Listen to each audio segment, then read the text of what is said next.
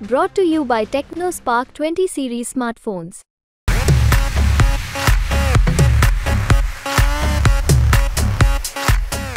दीपेंद्र जी राजकुमार सैनी ने जो शामिल हुए हैं इंडिया गठबंधन में कहीं हरियाणा में नुकसान तो नहीं हो कोई जाएगा? कोई कांग्रेस पार्टी में शामिल नहीं हुआ है। कल इंडिया गठबंधन कल, कल, कल मेरे को ये जानकारी मिली थी। मैंने जानकारी पूरी ली। 25 पार्टियाँ अलग अलग पूरे देश की उन्होंने बिना शर्त के इंडिया गठबंधन को केंद्र में दिल्ली में समर्थन दिया।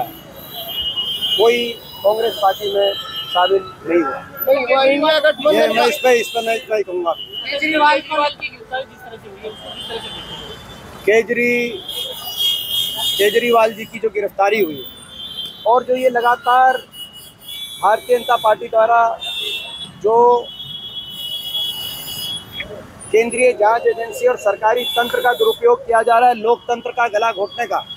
ये प्रयास विपक्ष की आवाज़ को कुचलने का ये प्रयास, ये जारी है।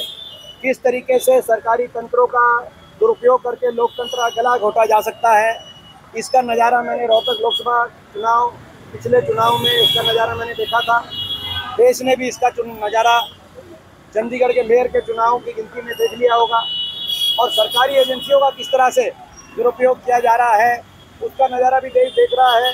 विपक्ष की कोई भी प्रखर आवाज़ देश में कोई है तो उसको जाँच एजेंसियों के निशाने में लिया जाता है। जाँच एजेंसियों का दुरुपयोग करके उस आवाज़ को कुचलने का प्रयास किया जाता है और यदि कोई नेता भाजपा में शामिल हो जाए तो उसके मुकदमे जो बनाए जाते हैं सरकार द्वारा, वो उसी तरीके से ठंडे बस्ते में चले जाते हैं। जब कोई कंपनी जिस पे ईडी की रेट छापा पड़ जाए, वो कंपनी भाजपा को चंदा दे दे, उसके बाद उसके मुकदमों का पता नहीं चलता। उसी रूप से बड़े बड़े नेता भाजपा में शामिल कराओ और उनके मुकदमों को ठंडे बस्ते में पहुंचाओ और देश के तमाम विपक्षी पार्टियों को निशाने पे लेकर उनकी आवाज़ को बंद कराने का प्रयास करो। ये मैं समझता हूँ ये कार्यशैली है। इसी में एक सवाल मेरा ये है आपकी पार्टी के वरिष्ठ नेता है अजय माकन उन्होंने भी सवाल उठाया था कि केजरीवाल ने जो भ्रष्टाचार देखिए मैंने मैंने एक बात आपको एक, एक जनरल बात की। कि क्या देश की कोई राजनीतिक दल कल कांग्रेस के भी हमारे अकाउंट फ्रीज कर दिए गए।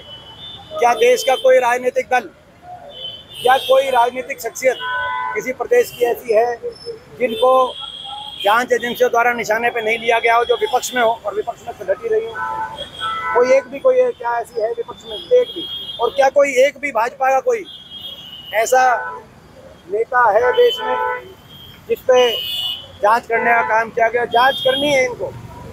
तो इस बात की की जाए कि महामारी काल में जब देश महामारी से जूझ रहा था, अपनी जेब से पैसे खर्च करके भी आप भी, हम भी, कहीं ऑक्सीजन कंसनट्रेटर हम लोग भिजवा रहे थे तो कहीं आप लोग अपनी जान हथेली पे रख के उसकी रिपोर्टिंग कर रहे थे।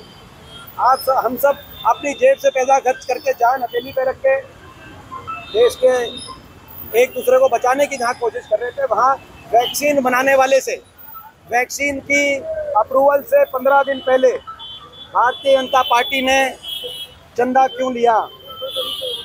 वो चंदा बाकी लोग तो अपनी जेब से खर्च रहे थे ये चंदा ले रहे थे वैक्सीन बनाने वाले से। क्या वो चंदा लेना उचित था?